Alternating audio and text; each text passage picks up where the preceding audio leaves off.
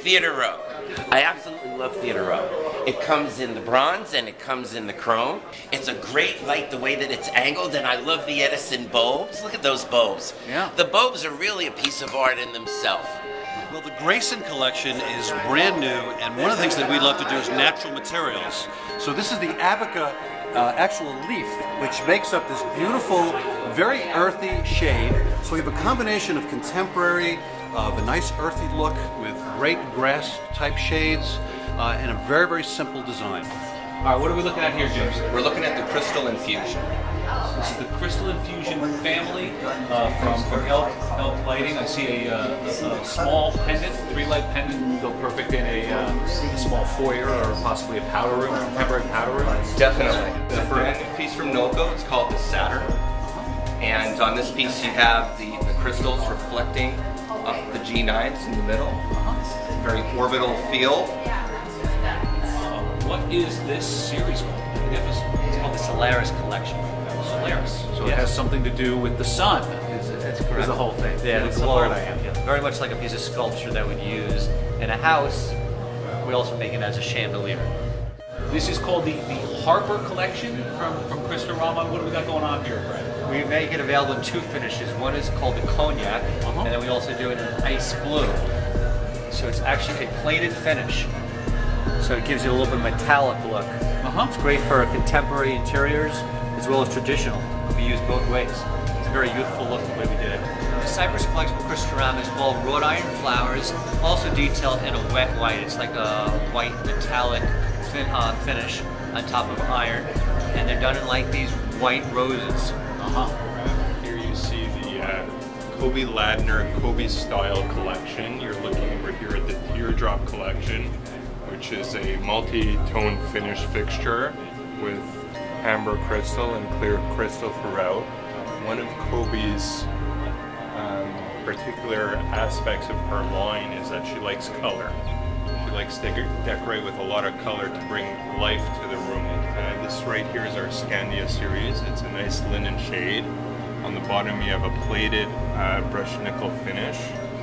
On the bottom we have a glass diffuser. This whole series comes in multiple configurations. They all come on hang straight, so they could be uh, hung on slope ceilings. You have an oval over here, you have a pendant over here. Again, this is just one of many series from Stephen Chris. How many finishes you got? Uh, right now we're up to six different finishes. Uh, black chrome, raw copper, chromium, white, raw platinum, tangerine tango, 2012 Pantone color of the year, Nice. Ferrari red, the Rosa Corsa, and uh, the beautiful classic urban bronze.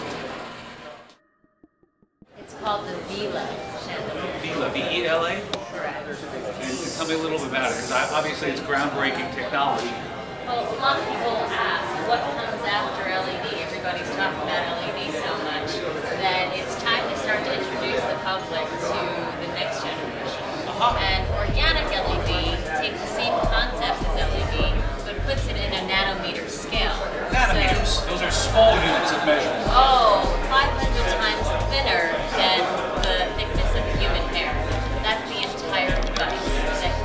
Is thin.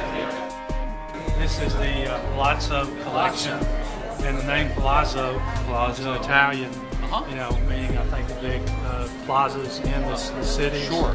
like Florence and Rome. Yep. We go with an aquarium cornered glass. It's a mitered corner with a clear cut on, on the edge so that you can see through the glass and it, it has that aquarium uh, effect. Uh-huh.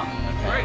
You have uh, vanity pieces, accent wall sconce pieces, and application pieces for every uh, every application in the home. You've got pendants, make a great addition over an island And this is the underscore series. from Walt Disney Signature Walt Collection. Disney collection. I noticed that the, the edging here is a little different. How, how do they actually make it? It's a mitered corner. Uh-huh. It's called a mitered corner aquarium glass.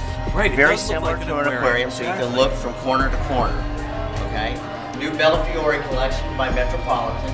Some great design techniques in here. What we've got is we've got a, uh, a hand pressed glass floret stacked on a center rod, and it's illuminated with a GU uh, GU10. So it's got both up an light, up, and a down light.